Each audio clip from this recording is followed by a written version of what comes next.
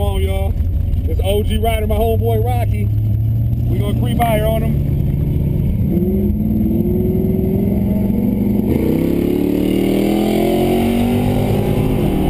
Put cars on the boys immediately. That's how we have fun, y'all.